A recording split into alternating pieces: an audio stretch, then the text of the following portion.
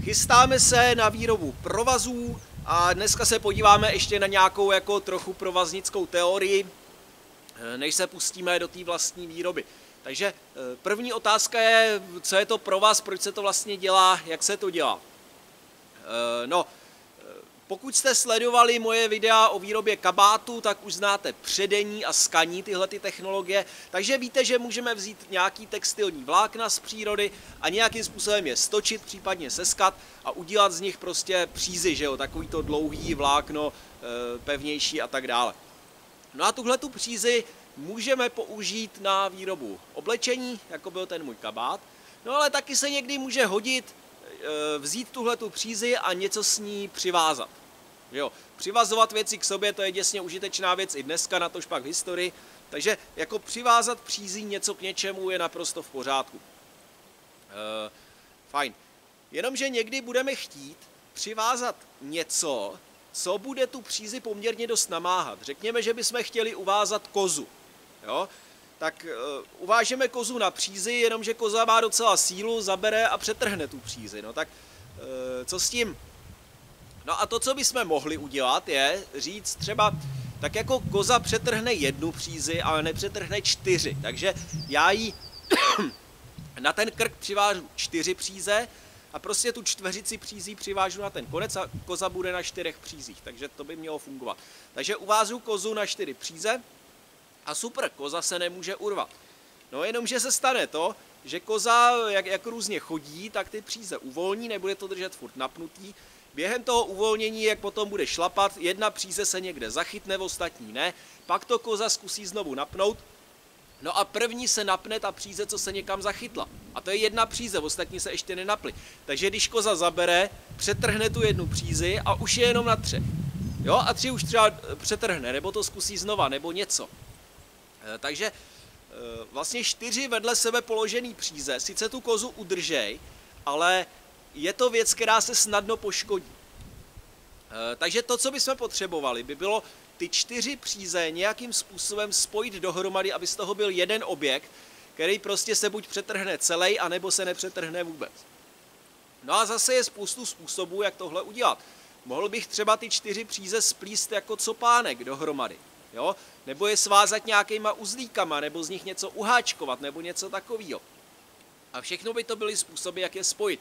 Ale jelikož uh, už umím příst, tak já znám uh, pěknou, jednoduchou metodu, jak, jak spojit nějaký, nějaký vlákna nitě dohromady. No a to je stáčení. Takže já můžu ty čtyři uh, prameny vzít, stočit je dohromady a tuhle tu stočenou kozu přivázat na tuhle tu stočenou čtveřici. A pak to bude držet pohromadě a pak se to nebude, nebude prostě trhat po jednom. Jenomže stáčení provazů je složitější věc, protože nestačí ty provazy jenom stočit, jo? nebo ty prameny. E, tady mám, tohle to budou moje dva prameny, jo? já to stočím dohromady, e, já jsem na tu kozu říkal čtyři a tady to ukazuju na dvou, aby to bylo jednodušší dělat v ruce.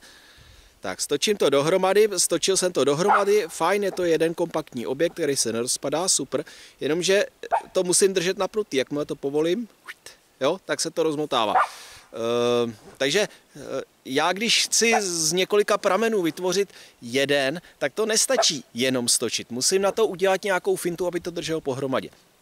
No a ta finta spočívá v tom, že každý ten pramen, nejdřív, než to začnu stáčet, natočím Eh, jakoby samotného do sebe. Takhle, jo. Eh, já to tady dělám na jednom prameni, ale ježiš, se mi to povolilo. Eh, natočí se sám do sebe, jo. Sám se jako nakroutí. Samozřejmě, kdybych ho pustil, jak jsem před ukázal, jakmile to pustím, on se rozmotá, ale dokud ho držím natočený, jo, je nakroucený. Já si z něj udělám takhle dva prameny. Takhle, jo. Teď jsou, teď jsou to dva prameny natočený stejným směrem, to je důležitý. No a teď je začnu stáčet dohromady v opačném směru, než jsem skrucoval každý ten jednotlivý pramen. Jo. A když to teď pustím, tak to drží a nerozmotává se to. A je to prostě jeden kompaktní e, provázek. Já už jsem tohleto vysvětloval u, u, u předení, ale teď to musím zopakovat, protože tohle je ta klíčová věc u těch provazů. Proč to drží pohromadě? No, když si vezmete, a když si vezmete kterýkoliv kupovaný provázek, tak se to může vyzkoušet. Jo.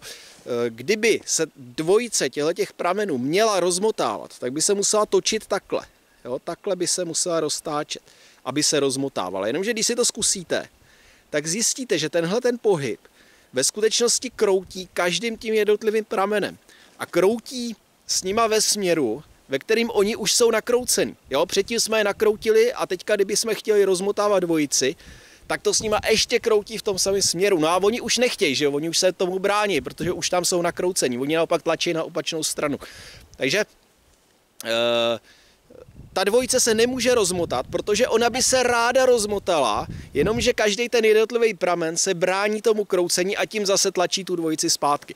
No a e, díky tady takový té bitvě mezi dvěma sílama, která zuří uvnitř toho provázku, se to vlastně celý tváří úplně volně a drží to pohromadě a vůbec to nepovoluje. Takže e, tohle je ta pointa, jak spojit e, prameny e, kroucením. No a tím jsme se v podstatě dostali k tomu, v čem spočívá výroba provazu. Jo? V první fázi musím upříst ty jednotlivé prameny. Kolik jich budu mít, eh, to bylo různý, historicky asi nejčastější jsou provazy ze třech pramenů, eh, méně častý jsou ze dvou anebo ze čtyřek. Z více se obvykle nedělali. Eh, takže nejdřív musím upříst ty jednotlivé prameny, pak musím každý ten jednotlivý pramen nakroutit tom jednom směru, ale všechny ve stejným, že jo? A pak to musím dát dohromady a společně to chci stočit na opačnou stranu. A e, když tohle všechno udělám, tak mám provaz, jo? Takže tohle je pointa celé té výroby provazu. No a teď, jakým způsobem já budu ty provazy nakrucovat, ty prameny? No, e, my už máme zařízení, který umí kroutit věc, má to je vřetínko, že jo? Takže mohl bych kroutit vřetínkem. Problém je v tom, že vřetínko se na výrobu provazů nehodí, protože e, za prvý provazy můžou být poměrně tlustý. Jo? E, nemusí být, jo? já tady jsem taky to, co jsem vyráběl, byly poměrně tenký provázky, jo? ale můžou být poměrně tlustý ve chvíli, kdy chci držet nějaký plachty nebo, nebo tu kozu nebo krávu nebo něco takového. No a vřetínko nemá dost velkou sílu na to, aby utáhlo, aby dokázalo účinně kroutit něčím tlustým. Jo? Na to je potřeba hodně velká síla a vřetínko vlastně bere tu sílu jenom z té setrvačnosti, tím, jak jsem ho roztáčel.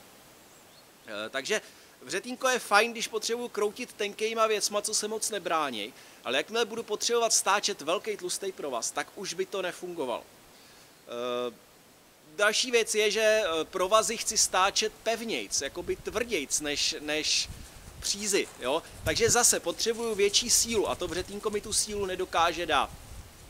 No a e, další problém je v tom, že vřetínko, zase pokud nevíte, jak se pracuje na vřetínku, najděte si, já, já to dám i do popisu videa, e, video o předení, který jsem dělal v rámci výroby kozáckého kabátu. E, to vřetínko pracuje po kouskách, jo. E, já jsem vždycky upředl, já nevím, tak asi jeden metr, že jo, pak jsem to namotal na dřík toho vřetínka, upředl jsem další metr. A když se skalo, bylo to to samé, vždycky jsem se skal, já nevím, metr, metr a půl e, příze, pak jsem to namotal na vřetínko a seskal jsem další, jo, takže vlastně na vřetínku se pracuje po kouskách, vždycky kousek, pak e, od, jako namotat, zase kousek, namotat, zase kousek, namotat.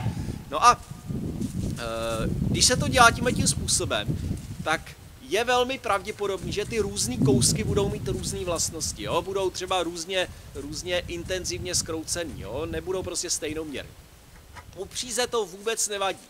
Ale u provazu, který je dělaný na to, aby měl, aby prostě eh, udržel něco, že jo, nějaký, nějaký velký napětí, tak potřebuju, aby tam nebyly rozdíly v různých kouskách, aby se prostě celý ten provaz eh, choval stejně.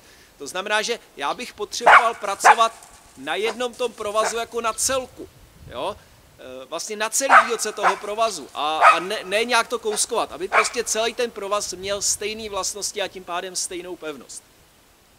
No a to je zase věc, která se na vřetínku dělat nedá. Takže e, tohle jsou důvody, proč se na výrobu provazu používaly jiný nástroje, e, než, než to vřetínko, i když vřetínko v podstatě dělá to samý. No a e, na dva z těch nástrojů se podíváme v dalších videích a konkrétně příště bude ten, ten, ten jednodušší, ten primitivnější e, nástroj který si vyrobíme a vyzkoušíme. Takže jak?